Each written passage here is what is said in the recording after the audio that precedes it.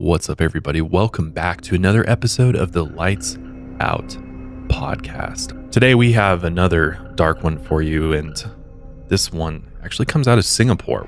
Let's go ahead and dive into the Toa Payoh murders. Adrian Lim. I felt that he was evil. Toa Payoh. This district is where Adrian bought a three room flat, a seventh floor unit, number 467F on block 12. He was practicing black magic. Kali. In some sects, she's known as the mother of the universe. The most powerful way to please the goddess is the blood of another human. With his egg ritual, he would convince many of his clients that he could access supernatural abilities. Adrian said that if she ever betrayed him, she would die a horrible death. To this very day, these murders are remembered as the worst in Singaporean history.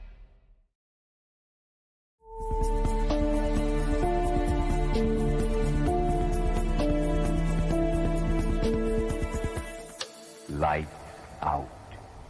Everybody. What's up, everybody? Welcome back to another episode of the Lights Out podcast. I am your host, Josh.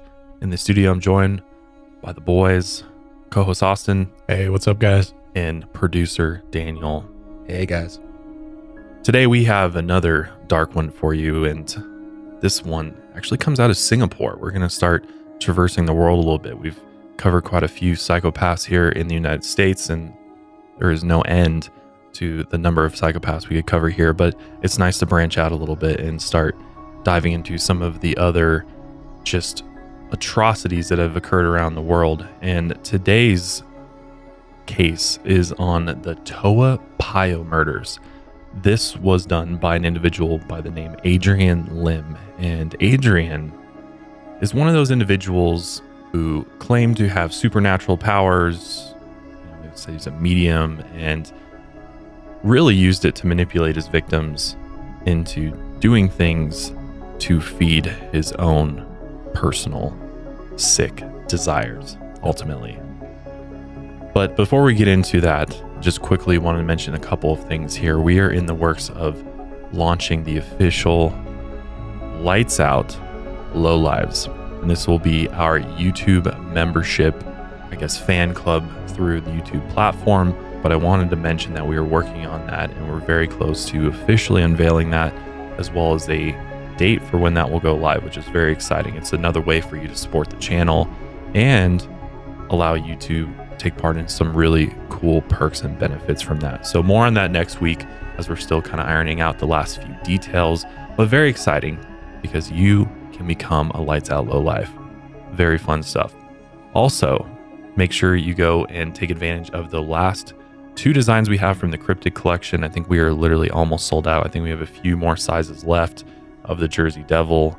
And God, I always forget what the other one I is. I think the Black Shuck. Thank you, the Black Shuck. Yes, which was honestly my favorite design. So go cop that if you don't have it already, because once those are gone, they're never coming back. Because every collection from here on out through merch store will be a limited collection. So once we're out, we're moving on.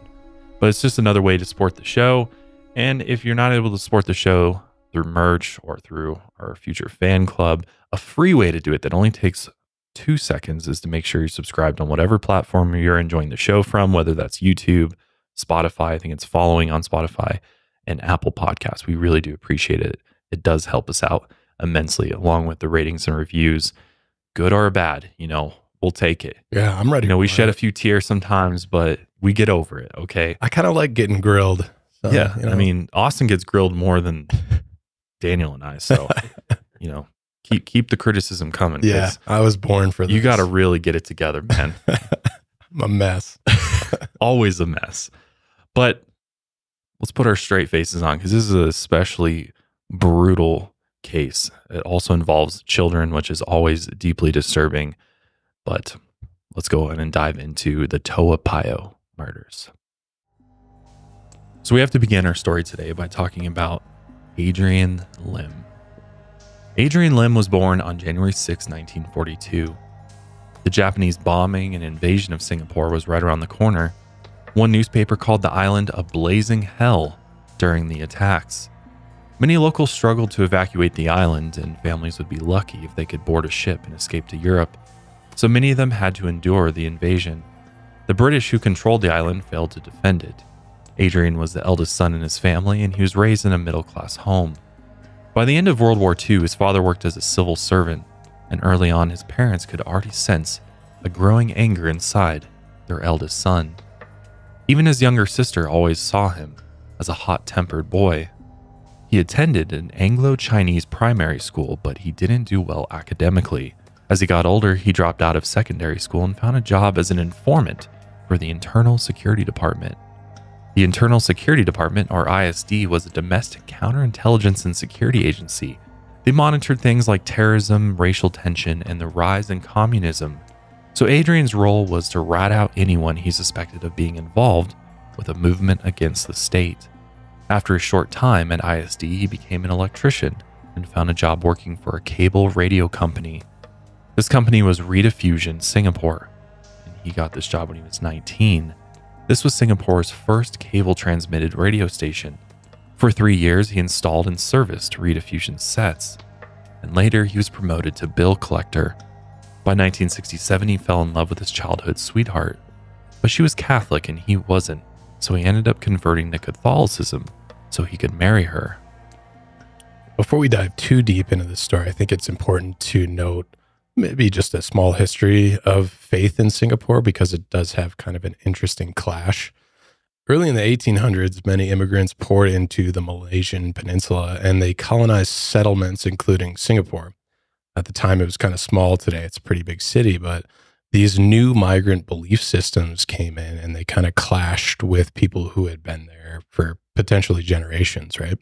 But instead of normally you'd see like one powerful religion just coming in and wiping out the other. But in this case, it was more like a clash of beliefs and they fused instead. So you see a little bit of Catholicism and you also see a little bit of the remnants of kind of like a almost indigenous faith, more invested in jungle spirits and things like that. Because before it was a massive city, it was just a lot of trees so, um, and these spirits basically came from the trees, or at least that's what these shamans believed. Their faith leaders at the time believed that they could communicate with these spirits that were out in the jungle, and these were called bomos or duccas. They were shamans, and some were also healers, herbalists, geomancers, and or sorcerers. So, a lot of these mediums performed rituals where they invited the spirits of the jungle to possess their own bodies and then they would chant and dance and sing things and say things. They would basically the spirits could use them as a vessel and they would sometimes they would offer up blessings or advice or sometimes if the wrong spirit invaded it could start cursing people or placing hexes on people. At least that was the belief right Many of these mediums also ended up running really successful businesses. But what happened is that in the years after Singapore gained its independence from Britain in 1965, and I think it became its own city state a few years later, it rapidly grew. A lot of tourism, a booming economy. So all these dense urban city centers started to crop up where there used to be jungles, which is where a lot of people gleaned their spiritual energy from. So that was kind of a problem. But you saw at the time in the 60s, you kind of saw a shift where by the 70s, a lot of these mediums were moving into these dense districts. Right. And that's kind of where to set the scene of what Adrian is going to be a part of. Right. Like the the changes of the landscape were so dramatic going from like you said dense jungles to now huge multi-story apartment buildings and things like that where it's super congested. I mean, if you look at Singapore today, it's it's a massive Huge. massive urban society that's just blanketed with high-rise buildings and stuff and which is very similar to a lot of other Asian countries who saw a major boom in in their industries and things like that where you know they kind of rather than building outward they build upward Mm-hmm. and so it's just people everywhere it's interesting that there is this fusion though of of spiritual practices and that it wasn't completely eradicated and like in many cases when stuff like this happens so but catholicism coming in that's it's very Yeah. interesting that catholicism was coexisting with some of these others not that it can't coexist but it's just in a lot of cases especially prior in history, you know, you'd see that. And if you practice anything other than that, you were Yeah, the Spanish inquisitors were coming in and yeah, wiping out your entire culture. Yeah, but and so that's why we see Adrian uh shift. He's like, "Oh, I'll convert to Catholicism, but we'll see it it's just to get married and Right. that's why he's still got these other Yeah. spiritual beliefs Mhm. of his. So locals had to move into districts with public housing and high rise apartments, like I was just saying. And Toa Payoh was one of these districts. Its name translates to Big Swamp. This district is where Adrian bought a three room flat, a seventh floor unit, number 467F on Block 12, and he lived there with his wife, and they later had two children together. The area had become known for its crime in the 1960s. The media even coined it the Chicago of Singapore. But over the next decade, crime rates in the district would drop. And while he lived here, Adrian became fascinated with the amount of local spiritual mediums that had flocked to the public housing. He saw how successful their businesses were. And even though he was a practicing Catholic and had a full time job, Adrian began working as a spirit medium in 1973. So you're probably like, well, how do you just like be a practicing Catholic, then all of a sudden be a, you know, medium? I mean, it's it's kind of a big jump there. right. So according to Adrian, he learned how to be a medium through Bomo, nicknamed Uncle Willie. Uncle Willie was famous for his work around town. He sold potions, placed hexes, and removed hexes depending on who was paying him. Uncle Willie promised to teach Adrian his ways, but only for a nice chunk of money every so often. During the lessons, Willie once gathered a small crowd and sliced his arm with a ceremonial sword. He then had his assistant capture his blood in a bowl. Then he took a thin golden trident about three feet long, pierced his tongue, and then held the trident between his teeth. Willie then danced around the room, splashing blood across the floor. Then he took the bowl and drank the rest. He finished the ceremony by spitting blood across the statues and religious pictures that sat on his altar as the crowd cheered. After the ceremony, he told Adrian that mutilation and piercings were a way to drive the demons out. He claimed he never felt any pain from self mutilation during these ceremonies, and sometimes he would enter trance like states. Willie told Adrian that if he could pierce his cheeks without blood spilling, the gods approved of him. After weeks of lessons, Adrian then rented a small one room office inside a brothel and began finding clients for his medium business.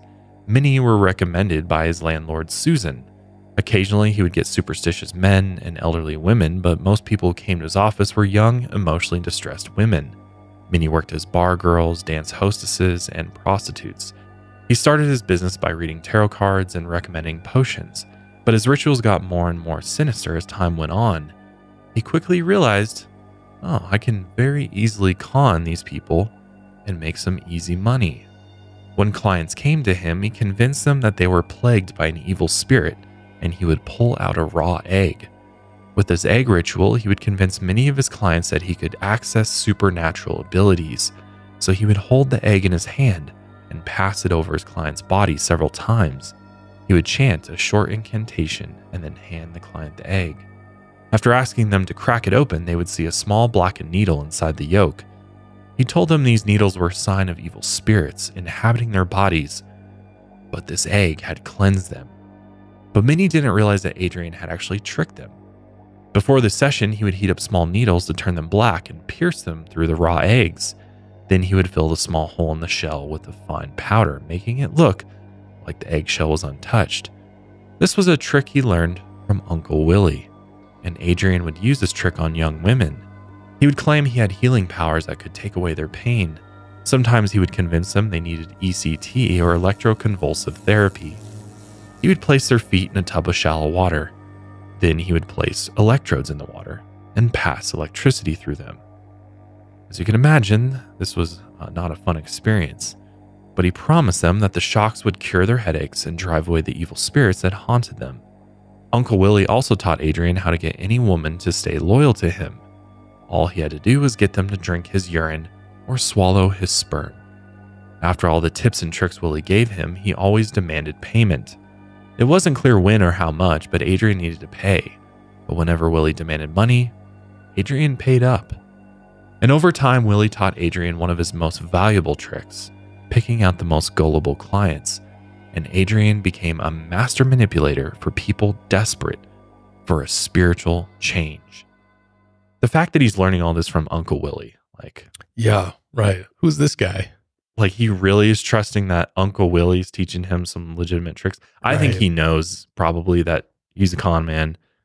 He's going to teach me how to be a con man, but we're going to do it under this guise that we're spiritual mediums. I'm glad you see that pretty quick here. Yeah, it's like it's under the guise of religion, right? As as is a lot of con men, right?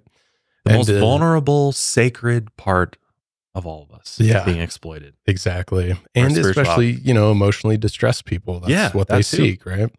And I know a lot of his rituals were not just, he just didn't make them up. They actually extend back to some Indian festival where the the tongue piercing thing. Yeah, I have heard of that before. That's you can see pictures of the people doing that.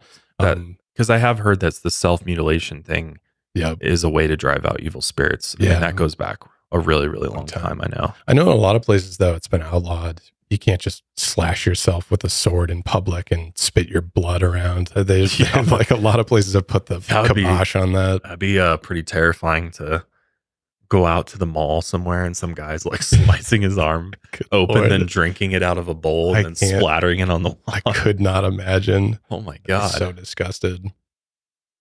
But yeah, there were. They always tied it back, and Adrian's favorite Hindu goddess that he always mentioned, her name was Kali. Um, in some sects, she's known as the mother of the universe. She's well respected for her motherly love and is known to ward off evil spirits and slay demons to establish peace. Uncle Willie mentioned, though, the best way to please this goddess is a blood sacrifice at least once a month. And Adrian took that to heart. And when he asked Uncle Willie, what should I be sacrificing? He said, well, you know, you can use chicken's blood. You could use my, your own blood, like I just showed you. Or he said, the most powerful way to please the goddess is the blood of another human. So Uncle Willie has kind of set the, planted these seeds in Adrian's mind. Over the years, though, this this is crazy. You can do a Google search if you want to on this. There have been a shocking amount of children sacrificed in the name of Kali, um, especially in the Eastern world. In India, you could just Google search human sacrifices Wow. Kali and Google, and you'll see quite a disgusting amount on there. So this wasn't a, a I don't think this was like an original idea. I think this is stemmed possibly far back. Um, Well, I mean, God, human sacrifice goes back all the way to the like the beginning of time, pretty much. Right. You can find it, you know, biblical times and all that. So it's not totally surprising, but even more recently, I mean, that's that's pretty wild. Yeah, and it's always specifically like a lot of them specifically are connected to this goddess. So do you is is the purpose behind it to, you know, they offer up this sacrifice and, you know, there's different tiers of sacrifices they can offer. So if they offer the sacrifice of of another, you know, somebody an actual human they sacrifice, is there what's the reward? What's the gain for them? Like what's the benefit? it is essentially you're in you're now in Kali's good graces, and she will So you're working up manipulate things. Kali's you. totem pole there. Like exactly. you're you're getting how loyal are you to Mm. her, and then supposedly she can help you out with things. Mm. That's the idea. So do you think they really believed like Willie and Adrian were really under the belief of the power that Kali has or had It's a and it's a great question. we're hoping That's- that that would be bestowed upon them if they did these things? I think that's one of the biggest questions of this case. We'll see if they actually truly believed in what they were Mhm. doing or if this was just a way to Almost an excuse to be like, "Oh, we were doing it for this reason," as opposed to the million other selfish reasons they could have been doing Yeah. these things for. as far as Adrian, we'll we'll get to see his character a little bit more. I'm on the fence about him, but I do. It's hard. I think we should Yeah. d- discuss maybe later the where the line between delusion and spiritual belief, where that line is, if there even is one. But we should. That's the biggest question of this case. I think you hit the nail on the head. There was one other deity that he always mentioned, which I couldn't find in any Like mythology. story for it? Huh. Yeah, I think it's pronounced Fragon. Fragon. Fragon. Couldn't find in any mythology or lore, uh, but he often told his clients that this was a deity it was a Siamese sex god. And Mm. I couldn't understand if Fragon was the Siamese sex god or if together Fragon and Kali were the Siamese sex gods. So Huh. something. So, th- as far as you could find, there was no record of it stemming from any not major religion, spiritual practice. I even tried to find like similar spellings or just a god that was along the same lines, but there's Kind of sounds like an idol they just created themselves. Yeah, I think he learned it from Uncle Willie, and Mm. it was just a made Of up course, thing. Uncle Willie. Yeah. This year, I've been trying to take care of myself more and more, trying to make sure I'm on the right vitamins, supplements that my body needs. And if you've ever been to a vitamin store out there, you know how overwhelming it can be. And it's very hard to know what vitamins and supplements you should actually be taking. Well, look no more because Care of has got you covered. If you're not familiar with what Care of is, it's a subscription service that ships high quality personalized vitamin supplements and powders conveniently to your door every month. Care of also helps track your wellness progress through their thoughtfully designed companion app. Supplements can be a huge support for how you feel, and Care of recognizes they're only a piece of the puzzle. Care of just updated their app with new features that help you build a holistic daily wellness routine and help you track how your routine is working over time. As your needs and goals change, Care of can help you adjust your routine to match. Their quiz can be retaken at any time to give you updated recommendations, and you can adjust your habits and routine tracking in the app. And what's great is after you do the quiz and they give you all these different vitamins and supplements they recommend, you can pick and choose what you want. You don't have to go with everything that they give you. Maybe you already have a lot of something. You can remove that from your packet, which helps lower the cost down, which is really helpful to know. So if you want to take charge of your health and wellness today, take advantage of this offer that we have gotten from Care of for you. For 50% off your first Care of order, go to takecareof.com and enter code LIGHTSOUT50. For 50% off your first Care of order, go to takecareof.com and enter code LIGHTSOUT50. So Adrian promised he could make his clients more beautiful through a ritual massage. That is suspect at the very least.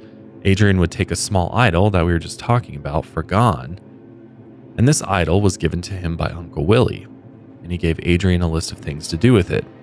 During his medium sessions, he would knead the women's body with the idol all the way down to their genitals. He would later take the idol and wrap it in the used sanitary pads of an unmarried virgin woman, and then he would wrap it in a red cloth. After 30 days, he would unwrap the idol and place it on his altar. He would then splash the statue with blood, preferably menstrual blood. During other rituals, he would convince desperate women that the only way that they could turn their life around was to have sex with him. According to his doctor, he had visited the medical clinic nearly 40 times for hormone injections to increase his sexual potency. During his training, Uncle Willie also taught him how to make a potion that made him more desirable. It was made from the bodily fluids of an unmarried virgin woman and clippings of her pubic hair, and Adrian believed that the more sex he had, the longer he would live. One of his clients was a 24 year old girl named Tan Mui Choo Catherine, she worked at a local bar. She had heard through a coworker that Adrian could cure ailments and depression, and she had just recently lost her grandmother, whom she was close with. The grieving process was long, and she sank into a deep depression. She wasn't close with her parents because they had sent her to a vocational center when she was only 13 years old. At the time, parents sometimes sent their kids to vocational schools if they saw them as problematic or if they had a run in with the law. So, Tan, and we'll be referring to her as Catherine, which you want to kind of explain that a little bit so it's not too confusing for people. Yeah. So as far as I could research in Singapore, there's obviously there's been a clash of cultures, and that runs pretty deep from the when it was colonized by Britain, and there were a lot of migrants from China, and obviously it, there was a interim where it was also part of Malaysia. So there's a lot of cultures there. So basically, how you say their names is it's their surname first, then it's their usually typically their Chinese given name or Malaysian given name, and then it's their English first name. So they they have essentially like it's different from you and I because it's first name, last name, or first name, surname, right? Our family name is last, where it's family name first, Chinese or Malaysian given name, and then their European name. So we'll just be referring to most of these characters if they have one as their European or English name. Yeah, just for the sake of me not butchering their name over and over again. it really helps. So, Catherine felt unwanted and abandoned by her parents, as anyone would, and she spent most of her life longing for attention. By the time she left the school, she was 16 and worked as a barmaid. Out of desperation and loneliness, she reached out to Adrian for help when she was 24. She claimed that she had been cursed by one of the other barmaids at work because she had made more tips than her. And over a series of visits, she grew intimate with Adrian. By 1975, Adrian insisted that she move into his flat with him and his family so she could undergo serious treatment. His wife had already had suspicions that they were having an affair together, but he told her that they just needed to rent a room to Catherine to make more money. His wife made Adrian swear an oath while placing his hand on a picture of Jesus, promising that he wasn't having an affair. But as he went to place his hand on the picture, she was so furious that she grabbed a kitchen knife and stabbed him in the side. Swearing an oath wasn't enough, as she already knew he had been lying for weeks. She then tried to commit suicide by overdosing on sedatives but failed. A few days later, she took the children and left the flat. She soon filed for divorce, which was granted the following year. Meanwhile, Adrian quit his job as a bill collector for Rediffusion and began working as a medium full time. His business was growing and his techniques were getting better. He would go into trances, adopt different voices, and speak in different languages to put on a show for his clients. Neighbors would complain about the noise during his rituals. Late at night, they would hear bells ringing, people shouting, and the sounds of people jumping up and down. Some complained to the local housing board, but nothing was ever done about it. Adrian was so good at finding gullible clients, he even made about $3,000 every month from a single client. After his career took off, he then married Catherine in 1977. During their private ceremony, he fell into a trance and began speaking in a strange voice, and he claimed the voice was the deity, Furgan. He ordered Catherine to ring the ritual bell nine times and swear an oath to him. After she agreed, Adrian said that if she ever betrayed him, she would die a horrible death. When the ritual was over, Adrian's normal voice returned, and Catherine was now his holy wife. Even though it seemed like he was making good money and happily married, things were much darker beneath the surface. Adrian often physically abused Catherine behind closed doors. He constantly threatened her and even manipulated her into prostitution to supplement their income. When he went to work, he told her he needed to sleep with his clients to keep himself healthy, as he claimed he had a heart condition and the only way to heal it was to have sex with other women. And he even got her to help convince some of his clients to have sex with him. In return, he encouraged Catherine to have sex with younger men and swallow their sperm to keep her young, beautiful, and healthy. Supposedly, she took him up on the offer and had sex with a teenage boy. Adrian made sure to be present so he could watch. At one point, she even had sex with her own 16 year old brother. He then convinced Catherine's younger sister to prostitute herself so they could make even more money. Despite the incest and the abuse, Catherine enjoyed the luxury items they could now afford with the money. Adrian often bought her fancy dresses, beauty products, and personal trainers, but Catherine wouldn't be the only young woman persuaded by Adrian's money and power. Hoe Kah Hong was born September 10, 1955, and her father died when she was only eight years old. She was then sent to live with her grandmother for the next seven years. But when she was 15, she returned to live with her mother and the older sister. But she'd been gone for so long, she sensed that her sister had become her mother's favorite child, and the special treatment her sister got made her feel insecure and angry. She began having outbursts and lost her temper easily, and much like Catherine, she wanted more attention since her parents didn't give her any. Her mother wrote off the outbursts as teenage angst, but they continued into her 20s. At some point, her mother took Kah Hong's older sister to see Adrian, and after he showed them the needle and egg trick, they were both convinced his supernatural work was the real deal. During their sessions, Adrian would dunk Kah Hong's sister in tubs of water, electrocute her, drug her with tranquilizers, and rape her. Eventually, Adrian claimed that she was cured. Her mother was so impressed that they mentioned that her other daughter, Kah Hong, had severe anger issues. Adrian promised he could help her as well. By the time Kah Hong was 22 years old, she still had severe anger issues, and they believed she was possessed by an evil spirit, and her husband had cursed her. So, in desperation, Kah Hong's mother dragged her to Adrian's office, and he used the same egg trick on her, and she was easily convinced he held some mystical powers that could heal her. And as they continued the healing ritual, she soon became his loyal follower. It became Adrian's goal to make Kah Hong one of his holy wives The only problem was that she was already married to a 25 year old man named Lo Ngakwa Benson. But this wouldn't stop Adrian. Like a true manipulator, he isolated Kah Hong from her husband and the rest of her family. He convinced her that her family was immoral and that her husband was cheating on her and was going to force her into prostitution. She believed every word he said. Then together, she and Adrian performed a wedding ritual at the altar in his apartment, and she was officially declared his holy wife, just like Catherine. From then on, she began cutting her family out of her life. She also became physically violent toward her mother and even convinced Adrian to beat her mother with a broomstick if she came by the apartment. After only knowing Adrian for three months, she moved in with him and Catherine.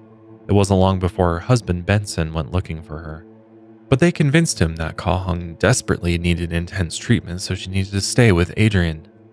Benson was stubborn and suspected that something was wrong, so he stayed in the house and observed what was really going on. Adrian encouraged him to join them in the rituals and treatments, especially in the shock treatments. So on the morning of January 7, 1980, Benson and Kah Hong sat across from each other. Their arms were interlocked as they looked into each other's eyes. Their feet were tied together and submerged in a tub of water. To start the ceremony, Adrian took a syringe filled with his own urine and pumped it into their nostrils.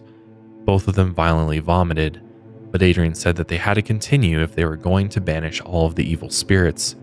He then placed Kah Hong's underwear and a used sanitary pad on Benson's head, and he placed a brass idol in his mouth.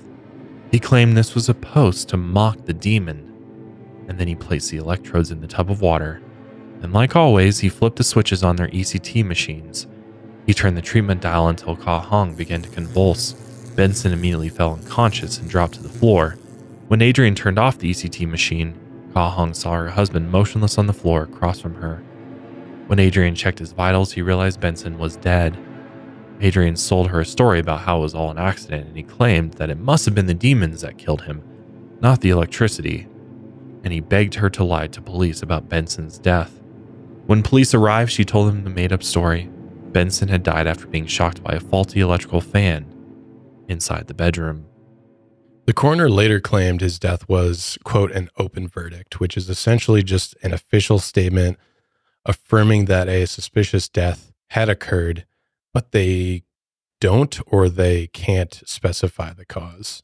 So Weird. it's basically just the police going and saying, well, they take the body, they check it out, and they're like, this is weird. He was electrocuted, but we can't dispute what they're saying about being shocked by an electrical fan. So we have nothing They leave to it at that. on. They can't like and since pinpoint like they did this to him exactly in a way. and especially since his wife was like yeah it was just a complete accident and they couldn't find any motive outside of that and there So was like, no right, evidence Good to go. Yeah, Story checks out. that was basically it and the case was dropped Wow.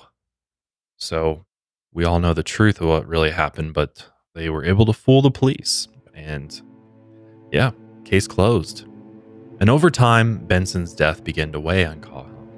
Even though she really never liked her husband, his death still affected her, and her mental health began to break. She fell into a deep depression, and she also began hearing strange voices in her head.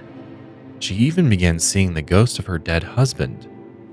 By the end of May that year, she was admitted to Woodbridge Hospital, and the doctors diagnosed her with schizophrenia, and they began treating her.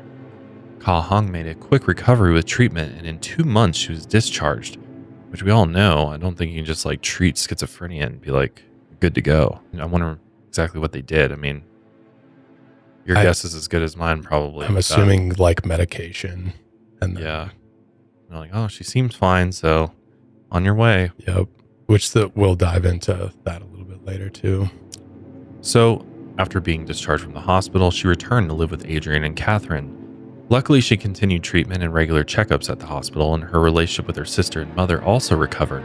But she refused to leave Adrian. He continued giving her shock therapy and said it helped with driving the devil out of her body.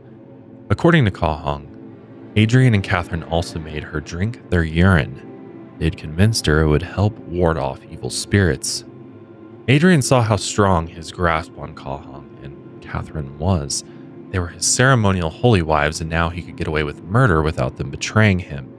Whenever he wanted Kah Hong or Catherine to do something for him, he would say that the old master had possessed him, and he was instructed to pass on the master's orders. He'd even change his voice like a spirit had possessed him, and he would give them commands.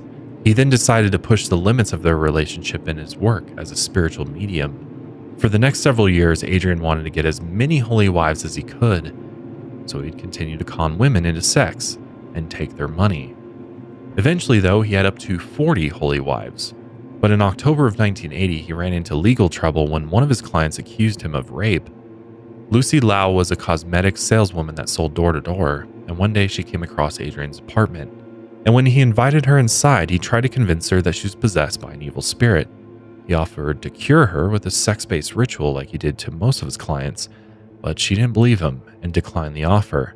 So he offered her a glass of milk with the holy properties in it, and she accepted. He then proceeded to go into his kitchen and pour a glass of milk.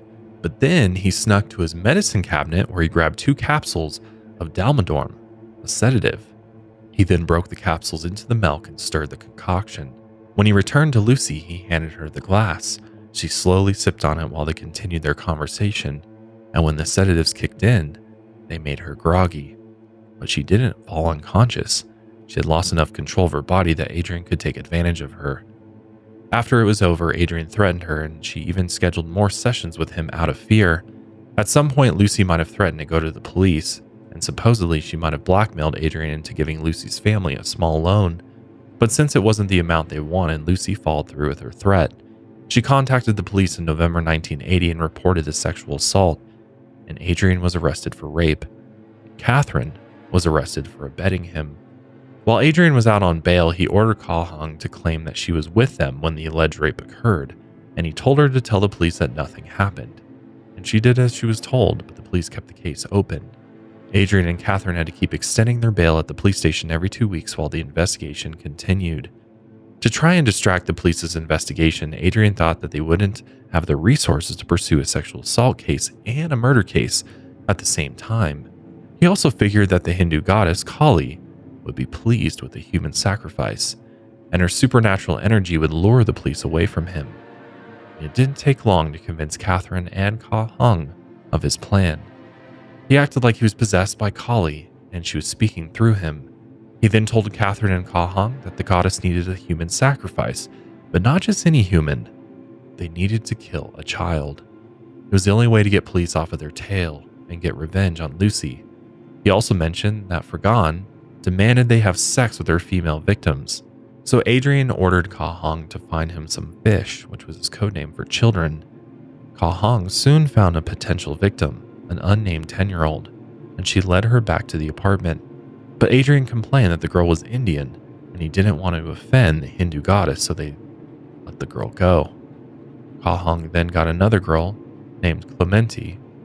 Adrian complained to Kah Hong that if he was going to have sex with the girl, he was worried about injuring his penis because she was so skinny, so she was let go. Adrian then told Kah Hong to find him a girl with some flesh on her a third girl was then brought to the apartment, but while they weren't looking, she called her friend on the landline, and she told Adrian that her friend had seen her being led away by Kah Hong. So, in a panic, Adrian quickly set the girl free. After this, one more potential victim was set free because Adrian found out she had been recently blessed by a pastor, so he believed the gods did not want her as a sacrifice.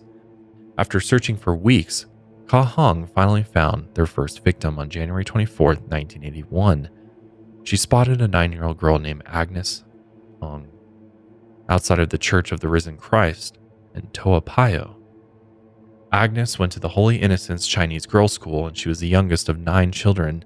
A friend was last to see Agnes at church around 4 p.m. She had been waiting there for her sister to finish classes at 5 p.m. before walking home together. Kah Hong then lured Agnes to the apartment, promising her free food as much as she could eat, and Agnes couldn't resist. Once inside the apartment, Kah Hong laced her drink with Dalmadorm, and Agnes soon fell unconscious. Allegedly, Adrian then took her to the bedroom and sexually assaulted her. Around midnight, Adrian, Kah Hong, and Catherine smothered Agnes with a pillow until she was unconscious again. Adrian then pricked her finger, and they each took a lick of her blood. Then they took a portrait of the goddess Kali and smeared it with Agnes's blood. The blood they didn't use was stored in vials and kept in the fridge. Then they took Agnes to the bathroom and forced her head into the toilet. Adrian held her body down and Catherine held her legs. and Kah Hong held her head beneath the water until she was dead. It took several minutes to die. Adrian told the others he wanted to make doubly sure she was dead. After pulling out the ECT machine, he attached electrodes to her body and cranked the dial all the way up. Then they stuffed her remains into a brown vinyl bag and dumped her at a lift in Block 11, about a half mile from the church where she was abducted. The next night, around 2 a.m., a carpenter was heading home after a midnight movie screening. Officer S.K. Menon later said the carpenter found the bag, opened the zipper, and out popped her head. After police examined the body, there were signs of sexual assault. And at the time, the crime rate in Singapore was incredibly low, so the pressure on local police began to grow. Only a week after the murder, Catherine and Kah Hong anonymously called Agnes's mother Pauline and threatened to chop Agnes's sister up. Police struggled with the little evidence that they had, and two weeks after the murder, the pressure got even worse because another child's body was found. Their next victim was 10 year old Ghazali Marzuki. He went to school at Henry Park Primary, and for the Chinese New Year holidays, he had been staying with his grandmother. On February 6, he was out at the playground with two of his cousins when a woman approached. This woman was Kah Hong. Adrian had asked her to go find a boy so that Agnes could have a partner. Kah Hong later said she picked him up because he looked like her dead husband. She asked him if he could help her collect some things from a friend's house nearby, and like the good kid he was, he agreed. His cousins watched as he got into a taxi with her, and this was the last time that he was seen alive. Once she got him back to the apartment, she forced him to swallow the sedatives, but it took him a long time to fall asleep. Seeing that he was a bit resistant to the sedatives, Adrian tied him to the bedpost as an extra precaution. He also gagged him and taped his eyes shut. Sure enough, he woke up soon after and thrashed around on the bed. Adrian hit him in the throat until he was stunned. He then drew blood from the boy's arm and they all drank it. Then they slathered the blood on other religious relics before drowning the boy in a bucket of water. He put up a fight, but they struggled to kill him. Adrian also used the ETC machine on him to make sure he was dead. But as he passed, he lost control of his bowels and also vomited, plus blood began pouring out of his nose and dripping all over the floor. After this, they all went out to dinner to celebrate, leaving his body in the apartment. Adrian and Kah Hong later disposed of the body in the middle of the night, but they panicked thinking someone had seen them, so they quickly dumped the body under a small tree. His body was bruised and bloodied. Meanwhile, Catherine tried to clean every last trace of blood in their apartment. As brutal as Ghazali's death was, his trail of DNA would become crucial to the investigation.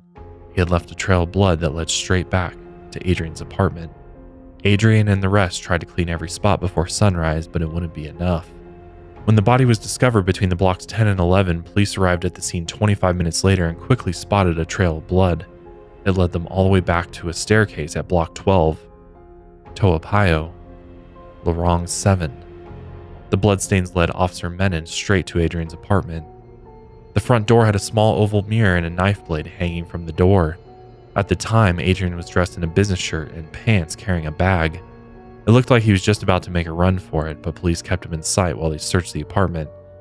Inside his flat, they found an altar holding pictures of Jesus Christ, crucifixes, and Hindu and Chinese idols. There's also a small puppet holding a miniature knife bowls filled with eggs and strange liquids. Many of the objects were splashed with blood.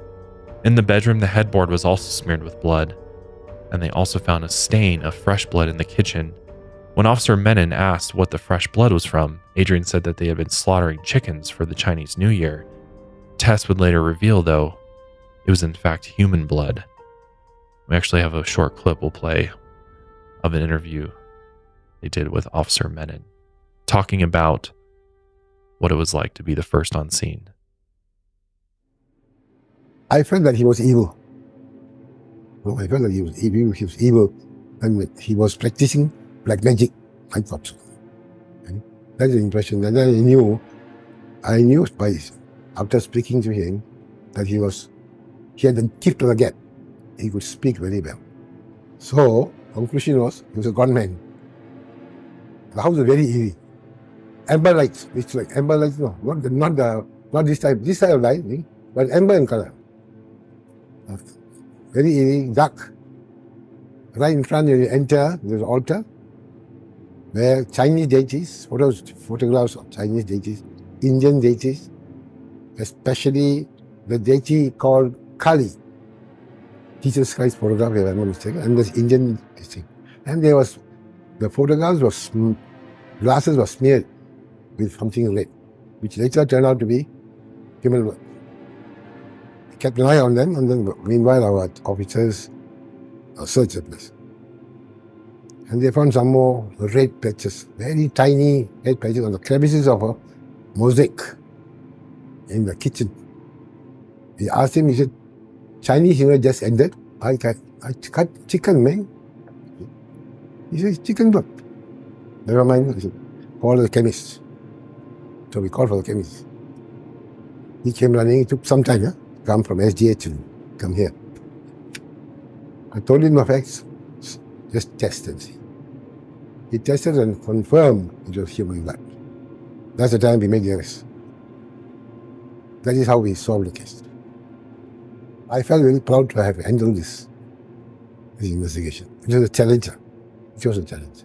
Although things were there, we still had to link every piece of evidence to that present. I cannot imagine another such case happening. I feel this way. I can't imagine there will be another case of, of this nature. So. Obviously, his involvement in this case impacted him greatly. I mean, I couldn't even imagine walking into this apartment after all this just happened and observing what he saw. Like, especially because murder things like this were so rare at the time in the Right. city it would be like it seems like you just got really unlucky if you were the the police officer to roll up to this scene yeah, it's interesting that like one of his first thoughts was that this guy's practicing black magic here. Yeah. And obviously he's you know he lives there so he's aware of you know all the cultural and religious practices there but his first immediate thought is black magic's being done here. There's Yeah. something evil happening in this apartment. And for those that are listening it might be a good idea to go you know take a moment and go watch that clip back again because we do have captions on it and again it's they're not perfect because his english is very broken but uh, we did our best to try to you know caption what he was actually saying. So it's helpful because I know just listening to it, it's very hard to follow along with what he's saying. But um, it's definitely worth watching through with the captions because you kind of understand a little bit better. So Adrian, Catherine, and Kah Hong were then arrested and brought in for questioning. Meanwhile, investigators searched the flat. Several vials of blood were found in the fridge. They also found a pair of slippers, shorts, and a handkerchief soaked in blood. They all belonged to Adrian. They also found a bloodstained blouse belonging to Kah Hong shoved in a bucket. But the most damning piece of evidence was a single piece of paper inside a telephone book. And in that paper had both the victims' names on it. At the time, Agnes's name was in earlier news reports, so that could have been a coincidence. But Ghazali's body had just been found that morning, and the police wouldn't find out the victim's name until later that day. Back at the station, Adrian denied any involvement. He said he had Ghazali's name on a piece of paper because he was one of his clients. He claimed the boy had had a nosebleed, so Adrian fixed him up and sent him on his way. Police had to wait for the forensics test to come back, which would take a while. Adrian eventually admitted to the police that he was a fraud. He explained his egg and needle trick, and he admitted to faking the deity voices when he was in trances. He also confessed that the murders were in response to the rape investigation against him. He claimed he wanted to confuse the police with a smokescreen of murders to draw them away from the sexual assault case, because murder is a lesser crime. Is that his? Is that his uh, assumption there? Uh, uh, this- Oh. that logic is the idea Flawed. the idea was yeah it's stupid he's like makes no sense. oh why I'll oh, do they're after- murders to distract from my sexual assault case. yeah that's that's either a bold-faced lie or he somehow rationalized that thinking because I don't think there's a more severe punishment for sexual assault as opposed to murder in Singapore. right So it's not like like what's the motive for doing that? It just seems like I mean that lends to his mindset and where he's at mentally. Yeah. Or the other idea is that if he commits these murders and doesn't get caught, then the human sacrifices would please the goddess Mm, and then they right. would help him. Right, of course. He's gonna get that that help from Kali. This episode of the podcast is brought to you by Every Plate. I'm a huge fan of meal kits, but especially Every Plate, which is owned by HelloFresh. I love both of them. I use them both almost on a weekly basis. What's great about Every Plate, though, is that it's 25% cheaper than shopping. It's the most budget friendly meal kit on the planet without compromising the quality of the ingredients and the deliciousness of the recipes. Cook once, eat twice with Every Plate's new dinner to lunch dishes. Tasty, filling meals for both dinner and lunch the next day. Each recipe is carefully crafted to ensure the ingredients can be easily repurposed so you don't feel like you're just eating leftovers. Plus, save time making lunch on busy weekdays with most of the work done at dinner. Try new favorites such as sweet soy chicken tacos and chicken stir fry, chicken sausage flatbreads, and tomato pasta, and more. All available for a slight upcharge for a limited time only. I've never had any issues with the produce being rotten or moldy. And if there ever is an issue, their customer service is top notch and they'll get you a new box straight away. Every plate saves me so much time and money. I don't have to go to the grocery store. I don't spend this huge exorbitant grocery bill, you know, with grocery prices on the rise. And I don't waste food anymore because I only make enough for the servings that I need.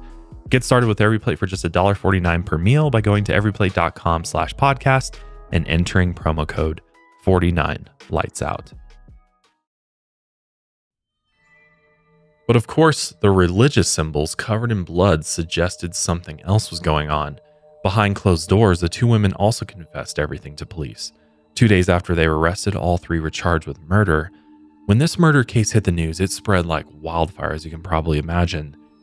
The locals read about the gory and sexually explicit murders in detail, and they were so shocked they gathered in large crowds outside the courthouse, hoping to catch a glimpse of the sinister ritual killers of Singapore. The accused were allowed one month of psychiatric evaluation. They were all fit to stand trial, and the court proceedings moved along quickly, and the judge didn't allow any of them to plead guilty. So this is where it gets a little different from the US court system. So they basically tried to plead guilty. The judge said no. Singapore is really big on tough on crime, especially now. Like just a couple weeks ago, they hanged a woman the first time in 19 years. She was charged for trafficking 31 grams of heroin, which is not that much when you really think about it. Yeah, they're super strict on drugs, like Yeah. Back in and I mean anything. Yeah, exactly. Back in May, they hanged a man for trafficking less than, I think it was somewhere around like 3.4 pounds of marijuana. And a month before that, they hanged a man for two pounds. Wow. Cannabis. Yeah. That's wild. So they do not screw around. And I know we've mentioned Singapore sometime before. Um, they've even like criminalized chewing gum. Yeah, and like littering and stuff is super big deal there. You go to jail So- for that. Yep. And I mean, it's like the streets are super clean, but they have a, a very, very strict stance on crime here. Wow.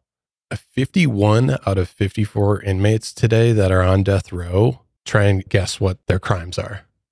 Oh, So the vast majority, probably not murder not because the murder rate's so low there that it's probably drugs, right? yeah, it's drug related They're crimes. drug related crimes on death row. 51 out of 54 Wow. inmates on death row. Wow. Isn't that crazy?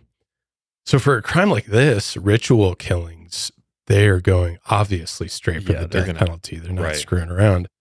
So the weird caveat is that in Singapore, the court can reject a guilty plea if the crime is punishable by death because it's the the logistics are weird, but it's essentially that if it's a death penalty case, you plead guilty, the court can only accept the plea after the prosecution has proven guilt through trial. So, as far as I understood it, it would essentially mean that you would still have to go through an entire trial, but the people who pleaded guilty wouldn't have a defense.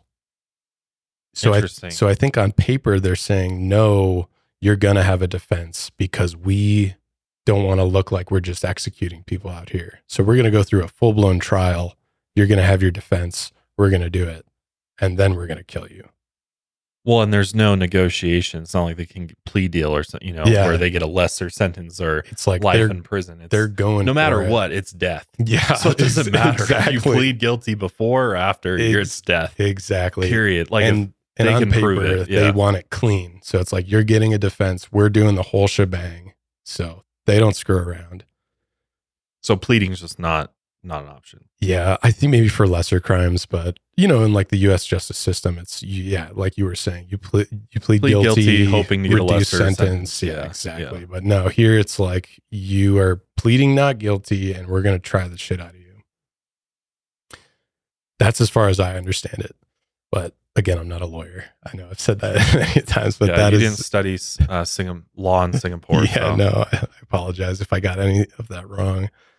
Adrian and Catherine were the only ones who tried to plead guilty, but were rejected. As far as Kah Hong, she she was just, Just like, I'll go accepted through the- it. the fate. Yeah. The trial lasted 41 days, which is a fairly long time. Even though they all confessed their crimes to police, the prosecution needed to prove intent if they were going for the death sentence.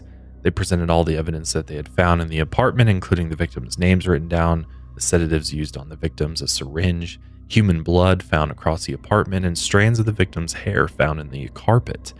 It was too early for DNA evidence in the 1980s, but they were able to match the blood types of the victims. On the stand, Adrian eventually claimed he was the sole perpetrator of the crimes. He also admitted to killing Kah Hong's husband, Benson, but he claimed that he had never had sex with Kah Hong because he was haunted by her husband's spirit. He also denied raping Lucy Lau and Agnes. And then he testified that his main reason for killing the children was to offer them as a sacrifice to the deity Kali, who would help him escape the rape charge and solve other problems of his. He said, quote, I killed to get even with the world. The defense's goal is to convince the court that none of the killers were in control of themselves during the crimes. Adrian's defense claimed that he was mentally ill at the time of the murders, his belief in Kali was a delusion, and that only an unsound mind would dump a body so close to their home. As for Catherine, they brought in another psychiatrist that believed she was mentally impaired by reactive psychotic depression. He claimed she was depressed before she met Adrian due to her family background and the feelings of abandonment, and the physical abuse and threats from Adrian deepened her depression. But Adrian always explained that the abuse only happened when the deities worked through him. He wasn't responsible, and she would believe him. Then she would take certain drugs that made her hallucinate. The prosecution psychiatrist, Dr. Chee, disagreed. He said that Catherine had admitted to being happy with the material lifestyle Adrian gave her. She loved the fine clothes and beauty salon treatments. He argued that someone with reactive psychotic depression wouldn't have cared so much about her appearance. Also, she had confessed to police that she knew Adrian was a fraud long before the killings. She knew he was a con man, but continued to follow along. But right before trial, she changed her stance in court to claim she was acting completely under his influence because she believed he was connected to the divine. The prosecution psychiatrist's opinion was that Catherine was a liar and she was mentally sound during the crimes. As for Kah Hong, both doctors agreed that she had schizophrenia long before she met Adrian. Her stay in Woodbridge Hospital had helped her recovery. The defense's psychiatrist argued that Kah Hong suffered a relapse during the child killings, but Dr. Chee pointed out that none of the Woodbridge doctors saw any signs of relapse during the six months of her follow up checkups. Her last checkup was January 31st, 1981, a few days after the first murder. If Kah Hong was impaired by her condition, she would have been nearly incapacitated, and the doctors would have been able to tell. And she had even confessed to police after her arrest that she was excited during the killings. Ending his testimony, Dr. Chee said it was nearly impossible that three people with different mental illnesses could have shared a common delusion of needing to kill children to please the gods. In the defense's closing statements, they tried to paint the picture that the killers were all mentally disturbed individuals. They also argued that the women truly believed Adrian had supernatural powers and they had no free will. Adrian's defense argued that he was once a regular man, but he completely changed once he began dabbling in the occult, which his defense called the unreasonable world of atrociousness, and he was soon disconnected from reality. Catherine's defense claimed she was just carrying out orders without thought, and Kah Hong's defense claimed that in her schizophrenic mind, she believed if the children were killed, they would go to heaven and not grow up evil like her mother. As for the prosecution, they pointed out how deliberate each abduction and murder occurred. Adrian was a mastermind, and he openly admitted to lying to police. He also constantly lied to his wife, his clients, and the psychiatrist. As for Catherine, she loved Adrian and wanted to do anything she could to help him, and Kah Hong was manipulated into joining. Plus, there were possibly two female voices on the threatening phone calls to the victim's mother, which must have been Catherine, Kah Hong, or both. In the prosecutor's final statement, it said, My lords, to say that Lim was less than a coward who preyed on little children because they could not fight back, killed them in the hope that he would gain power or wealth, and therefore did not commit murder, is to make no sense of the law of murder. It would lend credence to the shroud of mystery and magic he has conjured up his practices, and by which he managed to frighten, intimidate, and persuade the superstitious, the weak, and the gullible into participating in the most lewd and obscene acts. So basically, what they're saying there, I know that's a lot of words and kind of word vomity, but basically, they were arguing Adrian was a manipulator and he used these religious acts to persuade the vulnerable and the superstitious into helping him murder, and that they were all complicit. Very similar to many cult leaders Yeah, in the way they go about it. I mean, he had up to 40 holy wives, and I guess not really technically a cult. It wasn't organized enough really to be a cult, but similar, a lot of similar characteristics that you find among other cult leaders. Definitely. You know, they believe they have this gift, and then they use that gift to manipulate others, and then they prey on the weak to to do their bidding. And I mean, he was definitely on his way. Yep, exactly. I mean, all he was missing was like a name for his Right, cult right. and like possibly a compound. But I guess he used his apartment in that way. But yeah, very much like a cult. which, you know, thank God he was caught when he did because it probably would have gone way, way worse. But on May 25th, 1983, crowds swarmed the courthouse waiting for the verdict. And that verdict only took 15 minutes. The two judges who oversaw the case weren't convinced that the killers were mentally unsound during the crimes. They called Adrian abominable and depraved. They called Catherine an artful and wicked person who was always a willing party to Lim's loathsome and nefarious acts, and that she killed because she loved him. As for Kah Hong, she was a simple person and easily influenced. And again, they acknowledged that she had schizophrenia, but as far as her hospital checkups showed, she was in remission during the killings. The judge believed she was fully aware of what she was doing, so all three of them were found guilty of murder and sentenced to death by hanging. The two women didn't react to the sentencing, but Adrian screamed out, Thank you, my lords. As they were led out to the police vans, the crowd swarmed around and booed them. After the sentencing, Adrian accepted his fate, but Catherine and Kah Hong would later file for appeal. Three years after the trial in August 1986, the Court of Criminal Appeal rejected their appeals, and they failed again when trying to appeal to Singapore's president and London's Privy Council.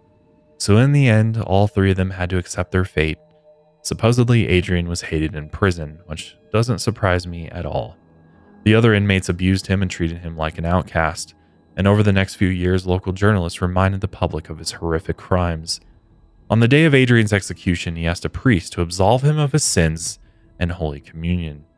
Catherine and Kah Hong had also converted to Catholicism and also requested absolution and the Holy Communion, which they're like, well, if we're going to die, we better wipe our sins clean so we can make it to paradise, right? Yeah, heaven specifically we the go. Catholic God yeah, too. of course. I don't know if that was more of a move to be like, hey, we're back into like the mainstream religions. We're we don't believe in that crap anymore. Or some I don't know what that was all about, or maybe they truly did believe. I'm not sure. On November 25th, 1988, the three killers were fed their last meal and led to the hangman's noose. Spectators noticed Adrian smiling the entire time. After the hangings, they were given a short Catholic funeral mass and their bodies were cremated soon after. To this very day, these murders are remembered as the worst in Singaporean history. A book titled Unholy Trinity by Alan John was written about this case in 1989. Two movies were made about the case in the 1990s titled God or Dog and Medium Rare. Both were box office bombs. But the ritual killings have carved out their infamous legacy in Singaporean history. Wow. Do you think? I think the biggest question, which you touched on earlier, do you think Adrian truly believed? I really don't. I really don't. I just, I think he saw it as a pathway for him to, uh, you know, obtain all of those selfish desires that he wanted and saw it as a way to manipulate people. And I question Willie too. Oh, for sure. I, I yeah. question that he was really in it for the right reasons. Seems like he was a seasoned con man who obviously they, you know, later admit that their tricks were fake and, you know, there's no there's no sorcery happening at all. They're just fooling people. There's bad magicians basically. Right. and fooling people into making them believe they have these powers. And obviously, when you start bringing in deities and things like that, you're, you know, sometimes it, you know, put the razzle dazzle on people and like, oh, you know, he's, he must know something. You know, he's connected with this deity, that deity. He's doing these rituals. He's, you know, he's got some some knowledge here. It seems like so maybe he does actually know what he's talking about. But I feel that may, maybe a part of him, like especially as he went forward and you know when they got he got away with murdering Benson, maybe he like really started believing. I don't know that it was initial that he believed, but I think as it went on, he definitely started believing like I am this you know powerful individual, and you know I think he thought there was some legitimacy to what he was doing, especially with kind of how cocky they were. They were they mentioned how close the body was dumped. I think to his third victim, which is that just them being sloppy as hell, or is that him being possibly overconfident because Yeah, he truly does think Kali is helping him? He know? seems just dumb too. Like he just seems like true. a dumb dude. Like agreed. a, a dumb evil dude who's willing to do anything for what he wanted. And I think once he got it, again, it, it's what happens with so many cult leaders is they, you know, sometimes even cult leaders maybe start in a good place where they're like, you know, it's about spirituality, it's about, you know, bringing people together. But then once they get a taste of, you know, the other side, you know, the power and manipulation, control, and having people subservient to you, I think certain individuals just something just clicks in their brain and they're like, "Oh, I like this power. I like this control." And I and I think it's deeply rooted in in within them. Like I don't think this is something that just like happened overnight. I think I mean, if you go back to his childhood, he seemed like he had anger problems and things like that. Like there's this deep rooted hate and anger within that manifests as time goes on. And then all it takes is sort of that perfect storm to happen and it just unlocks everything. And it's just like everything just clicks all at once. And he's like, oh, this is who I'm destined to be. And he's like, I'll I'll get the power any way I have to. It doesn't matter if I it's at the expense of people's lives or killing children or drinking blood or putting on a show for people and making people believe I'm this, you know, because he's taking advantage of the culture there. He's taking advantage of so many things. Yeah, I was going to bring that up. I think he knew exactly what the market looked like for Yeah, religion. Great way to put it. Yeah. The market for sure. Of, And of he his, as a as a good con man does, they just go straight in there and find everyone who's a, about that lifestyle and just they just abuse the shit out of it and manipulate people. I feel like that that's what happens most times. I think it's almost rare to find an individual who who does these types of evil acts who to the grave is the same person from the beginning to the end where they're like I believe I am this divine one, you know, who's worshiping this deity or demon or something like that where they're they don't stray away from that at all. The fact that he was Catholic at the beginning and he ends being a Catholic and in the middle is just this Yeah. mess of of whatever you want to call it says a lot to me. It's like he was only in that because it was convenient to what he wanted and helped him achieve the goals that he was trying to to reach. Definitely. But once that ended, he was like, "Oh, banning it, like abandon I'm ship. out. Yeah. I'm not that guy." When he was face to face with death, yeah, he's like, Right. "Oh, I better see a priest really quick because who knows what the afterlife is. right rather like." than being confident in his beliefs and Kali has me Kali is going to save me you know Mhm. and taking that to the grave and that perspective to the grave says a lot about him as an individual that Yeah. he's just a weak-minded dude who saw an opportunity to take advantage of people in order to make money and feed his sick desires and that's exactly what he did at the And end of the day It's crazy because Catherine admitted that she knew he was a fraud when she was talking to police, but she benefited off of it. She was getting the nice clothes, the personal trainers, stuff like that. So I'm convinced that she was in on it. But what about Kah Hong? I think she's Yeah, the strangest she- aspect of this case because of her. She obviously has schizophrenia and possibly I don't, who knows what else. But I, I really hated how they tried to throw her schizophrenia around in the courtroom because it's like they kept calling it like she's in remission for whatever. It's like, you mean she's being treated for her schizophrenia? Because you can't be cured of that. And I don't think it's called remission. I could be totally wrong, but let's say she wasn't taking medication and she was back to her old self or whatever.